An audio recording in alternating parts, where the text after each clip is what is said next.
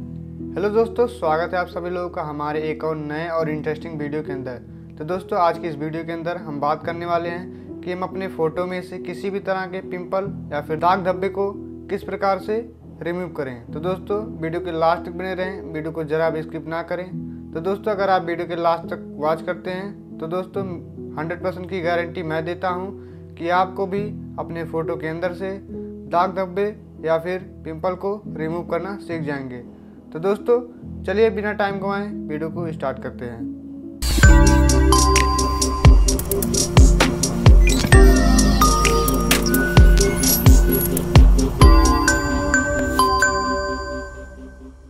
तो दोस्तों, हम अपने फोटोशॉप प्रोग्राम के अंदर आ चुके हैं। अब आपको उस फ़ाइल को ओपन कर लेना है, जिस फ़ाइल में से आपको पिंपल या फिर दाग धब्बे को रिमूव करना है। तो दोस्तों फ़ोटो को ओपन करने के लिए यहाँ पे आपको फ़ाइल में आना है। फ़ाइल में आने के बाद आपको ओपन पे क्लिक करना है।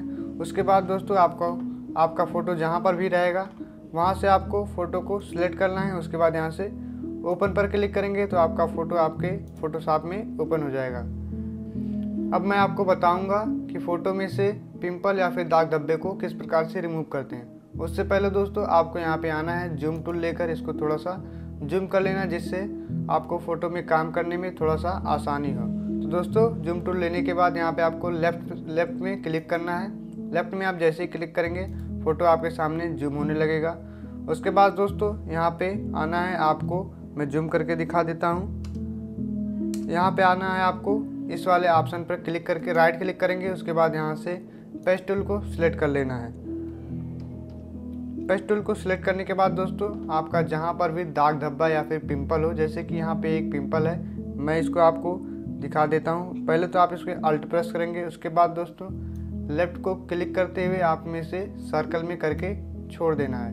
उसके बाद दोस्तों, इस सर्कल के ऊपर आपको क्लिक करके आपको उसके बगल में कहीं पे भी जहाँ से आपको, जहाँ का स्किन आपको वहाँ पे लाना है, उसको वहाँ पे छोड़ देना है। तो दोस्तों, ये देखिए आपके सामने ये पिंपल गायब हो चुका है। तो दोस्तों, ये प्रोसेस आपको हर पिंपल के साथ में करना है। तो दोस्तों, इससे होता क्या है? जब हम यहाँ पे इसको सिलेक्ट करके छोड़ते हैं तो दोस्तों, वहाँ का स्किन वो ले जाके वहाँ पे कवर कर देता है। तो दोस्तों, इसी तरह से हम सभी पिंपल के साथ में करेंगे। पहले तो अल्ट प्रेस करेंगे, उसके बाद इसको सर्किल में करके इसको यहाँ पे छोड़ देंगे।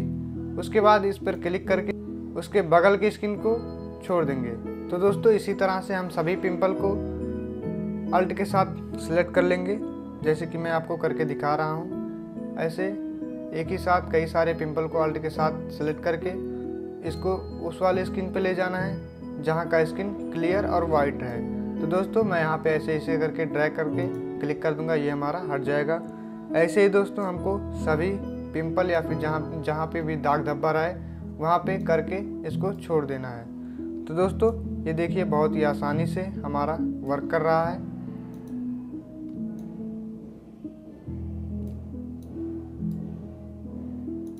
तो दोस्तों, इसी तरह से हम सभी प्रकार के पिंपल या फिर दाग धब्बे को हटा सकते हैं। ये देखिए, आपके सामने ही ये मैंने बता दिया।